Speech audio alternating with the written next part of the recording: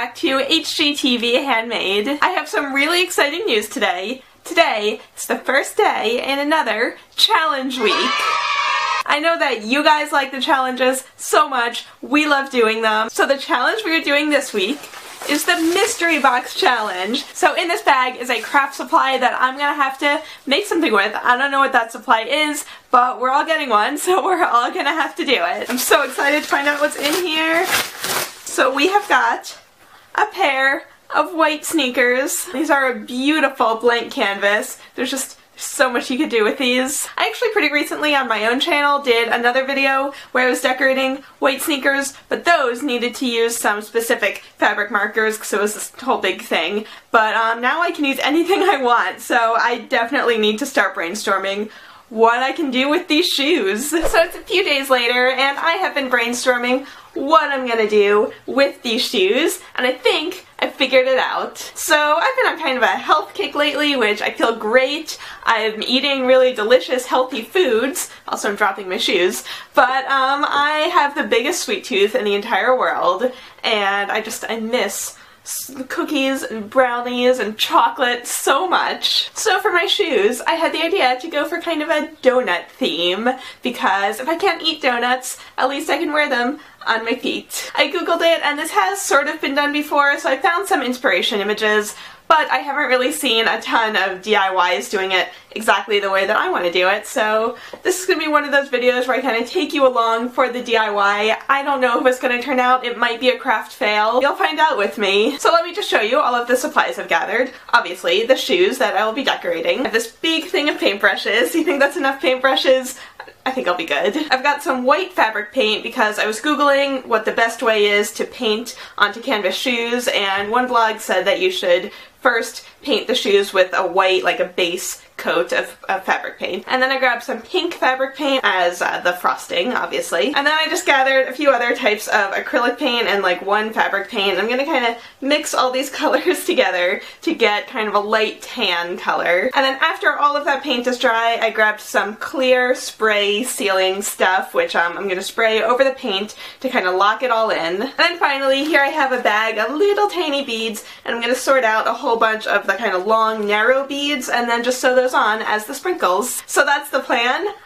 I don't know if it's to work out how it is in my head, but uh, you guys are to find out with me. So my first step is to stuff the shoes with paper the same way they do at a shoe store, just so that they kind of hold their shape while I'm painting them. And once I'm done stuffing the shoes, I think it's time to paint. And here we go. It's the first First step, oh my god, I'm actually doing it! I'm actually painting my shoes! That might have been a little bit of an overreaction. I'm not doing anything very drastic to them yet. Also, you might be wondering why I'm working on the floor today, and that is because I'm rearranging all of my craft supplies, so they're a mess and they're all over the table where I usually work, so today I am relegated to my bedroom floor. So my first shoe is fully painted with the white fabric paint, and you guys probably can't even tell the difference, but I swear that I did, and so I just waited a minute for it to dry and now I think I'm ready to start with the pink paint and I'm gonna squeeze out way more than I probably need because I want to make sure I have enough for, you know, all parts of the shoes. I'm a little nervous because the white paint was pretty forgiving since the shoes were already pretty white, but now I actually have to be careful and paint inside the lines and make it look good. So Wish me luck. So the front of the shoe is painted, and I haven't quite decided yet if I want to paint this seam between the colors, if I want the colors to like butt up against each other, or keep this white outline between them. So the pink is done. Um, again, as I said, I might still paint this seam in the middle, but first I'm going to put the tan color on the inside and see how it looks, and then decide if I want to paint that. So let's just go ahead and start mixing up those colors. So one thing that um, I probably should have done is use a lint roller on the shoe before I started painting anything because there'll be little like bits of, I don't even know, just like dust getting stuck in the paint. So probably should have uh, just lint rolled all that out of the way first, but it's alright, it's not the end of the world. So I have made the executive decision, um, because these are my shoes, so I get to make those decisions, that I am going to paint these seams because I'm already kind of getting paint on them and it's just going to look messy if I try to leave them. So there we go, I finished painting my donut shoe and I think it came out pretty good. Painting those inside seams was definitely the right way to go. So now I'm going to go ahead and paint the other one and then take them both outside to spray them because I want to get both of them painted before all of my paint dries up because if I try to mix those exact same custom colors again, they're never gonna fully match. So both of our shoes are painted now and I think they're looking pretty donut-y. So now I'm going to take them outside and spray them with this uh, clear spray paint sealer. All of the blog posts that I read about painting canvas shoes said to do um, like three coats of a really thin coat of the sealer rather than like one really heavy coat. So just FYI, that's what I'm gonna do. So now that the shoes are dry, it's time to start sewing. So now it's time to take out all of that tissue paper that we put in earlier. So the sprinkles that we're gonna be using are these little beads, which are um, straight and long, and I don't know how to describe them, but they're really small, so I have to use a really tiny little needle, and I'm going to use some pink thread so it matches the, the pink shoe. But if you don't have beads like these, you can also just stitch embroidery thread in several different colors all over the shoe, just like Sea Lemon did in her journal tutorial that she put up a while ago. However, I think this, that would take a lot longer because you have to tie off all these different colors of embroidery thread rather than using one piece of thread for a ton of beads. So that's the method I'm going to use.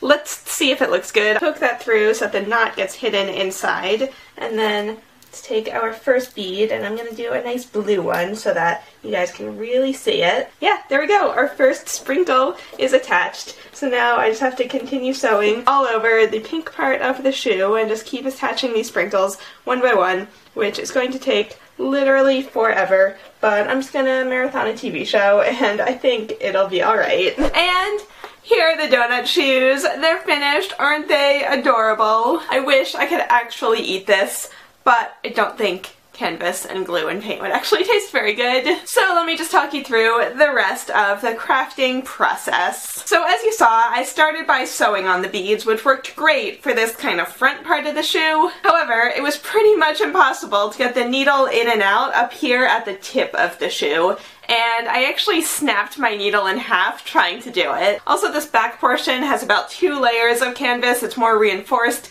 so I couldn't even get my needle through that section at all. So I ended up switching to tacky glue, which was definitely a lot faster, but I feel like it's not quite as durable as sewing. But here's a quick shot of what it looked like mid-glue, just so you guys can get an idea of how I did it. So quick tip, if you're planning on making these, and you're planning on attaching beads with tacky glue like I did, definitely have a hair dryer nearby. Because if you're turning the shoe all around to glue the beads on each side, the beads might start sliding around when it's, you know, turned the opposite way, and they might even slide off the shoe entirely. So I'd recommend doing one side and then hit it with a hair dryer for a few minutes to just set the glue and then you can turn it over and do the other side. I actually did spend a few hours last night gluing all these beads onto the shoe and I was just sitting on my bathroom floor just running a hair dryer over a pair of shoes.